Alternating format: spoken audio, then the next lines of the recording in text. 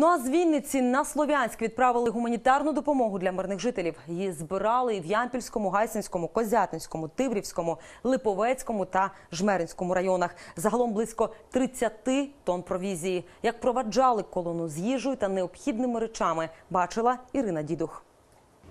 Вода, борошно, цукор, засоби гігієни та медикаменти. В кого що було, тим і ділились. Провізію на Слов'янськ збирали великі господарства, підприємці, селяни та громадські організації Вінничини. Ми до цього часу робили, відправляли, е, скажімо так, в райони бойових дій.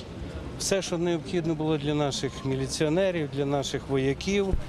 Е, Зараз це вже нова наша місія. Ми започатковуємо, ініціюємо е, відправлення е, продуктів і найнеобхіднішого для мирних жителів в першу чергу. Вінничани збирали для жителів Слов'янська те, що вважали найнеобхіднішим. Попередньо зі звільненими від сепаратистів районами не зв'язувались. Загалом завантажили більше 30 тонн продуктів та косметичних засобів. Ми зустрінемо там цей вантаж і вже довеземо до е, міської адміністрації.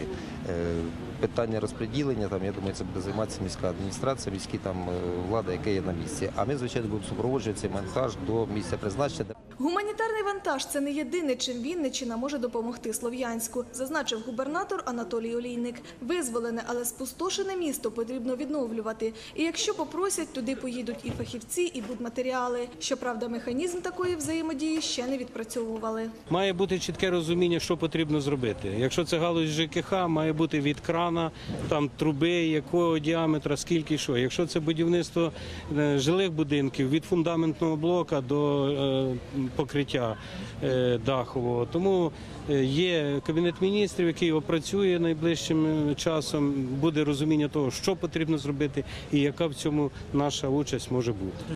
Автівки з вантажем обклеїли наліпками. Тепер, кажуть правоохоронці, вони не бояться їхати відкрито. Коли ж в регіоні господарювали сепаратисти, гуманітарку намагались доправити, не привертаючи їхньої уваги.